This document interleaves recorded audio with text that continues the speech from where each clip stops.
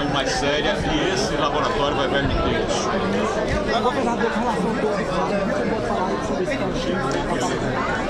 Bem, a questão do gol de placa está sendo feita uma, uma, uma análise, uma investigação pelo Ministério Público Estadual.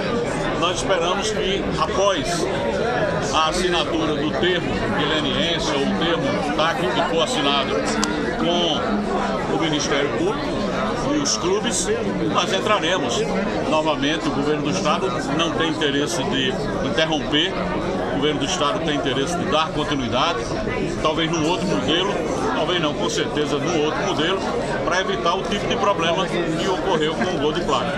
Mas nós vamos retomar o gol de placa a partir de janeiro, com certeza. Olha lá, como é que subiu essa nota do PSB e chamando de traidor pessoa desse mesmo Na verdade é mais uma, uma, uma nota raivosa, uma nota que para mim não, não traz nenhum tipo de, de análise, até porque a minha carta diz exatamente qual eu deixei o partido. Não tenho nenhuma preocupação de responder a quem quer que seja. Eu acho que o povo da Paraíba está fazendo uma leitura do que efetivamente aconteceu durante todo esse ano. Governador, o vereador Anderson Maia disse hoje que não foi encaminhado pelo PSB se vai fazer oposição ao governo. É uma forma de manter os cargos? Eu acho que está dito, inclusive, na própria carta, que muita gente se manteve no governo, mesmo boicotando o governo, e não teve a coragem e a dignidade de entregar os carros. E essa era a exigência primeira. A exigência primeira.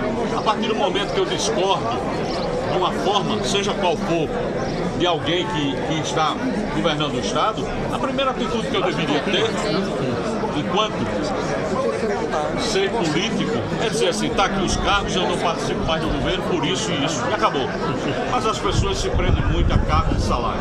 Você por isso vai tomar o governador Ricardo? Não, eu não tenho mágoa de ninguém não. Meu coração não tem espaço para isso não. A decepção, decepção na vida a gente tem, mas a vida é assim. A cada momento você é solicitado a recomeçar. E quando você recomeça, você tem que recomeçar com disposição, com ânimo, aquela nova missão e aquilo que se apresenta no momento. Eu saio do PSB com a consciência tranquila. Eu saio do PSB absolutamente tranquilo de que tudo tudo que nós construímos ao longo dos últimos anos, porque eu participei dessa construção, é, eu dei continuidade. Eu não mudei sequer o nome de programas. Sequer o nome dos programas desse Estado eu mudei. Exatamente para mostrar ao povo eu acredito naquilo que lá em 2018 eu dizia em cada começo. Essa é uma posição correta. Eu, montei, eu mantive praticamente a equipe toda do governo anterior. Se alguns saíram por outros problemas, não foi causado por mim, nem por determinação por retirar pessoas. Essa é a grande questão. Como senhor vê a questão de ser chamado de traidor? Eu não, eu não me sinto traidor. Esse é o problema. Eu não faço essa leitura, até porque eu sei exatamente quais os motivos que me levaram a deixar esse partido. Durante um ano, durante um ano, pessoas da, eu diria, dos maiores cargos do PSB tentaram viabilizar essa gestão. E você não dá para entender por quê. Afinal de contas, foi um governo construído com um objetivo. Se por acaso alguém imaginava que ia continuar sendo governador do estado a vida toda, aí é uma outra coisa. Essa é a diferença. Mas já podemos? Vai ter caça às bruxas, governador? Ah, quem caça as bruxas, isso não faz parte do meu perfil, não. O senhor aí podemos? Aí podemos? Será que eles, eles é, que A questão de partido está sendo discutida, está sendo analisado. Brevemente vocês serão avisados do partido que eu irei compor. Isso é uma questão, uma discussão que precisa ser feita com muito cuidado. Nós temos vários aliados, nós temos vários partidos aliados. Eu tive a honra de receber o convite de vários partidos e eu, claro, tenho hoje a condição de muita tranquilidade, que é o que me norteia desde o primeiro dia que eu assumi esse governo do Estado, é aprender na minha vida, que eu já sei, mas continuo o tempo todo aprimorando, é ter paciência, é ter fazer as coisas e tomar as decisões no momento certo e da forma mais tranquila. É isso que nós. Governador, tem uma... O Azevedo é governador do Estado e vai continuar governando esse Estado. Tem candidato para Campina Grande de João Pessoa, governador? Teremos.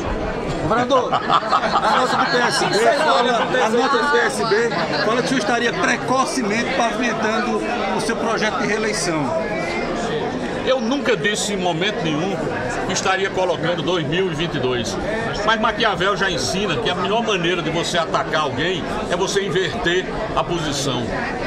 Talvez as pessoas, esse golpe que foi dado dentro do PSB, foi exatamente porque talvez desconfiasse de que em 2022 poderia não ter legenda. Essa é a grande questão. E quiseram garantir isso hoje em João Pessoa em 2022. E nunca foi colocado isso em discussão.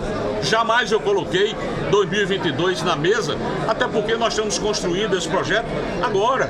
Nós estamos iniciando a gestão. Eu e Lígia, que fomos eleitos pelo povo, estamos exatamente contribuindo com a Paraíba. Então, o processo de discussão para 2022 está muito longe. E isso foi o que norteou, evidentemente, essa decisão de tirar Edivaldo Rodas do partido, de dissolver o diretório. Mas a forma como é colocada é a forma inversa. Mas Maquiavel já ensina isso.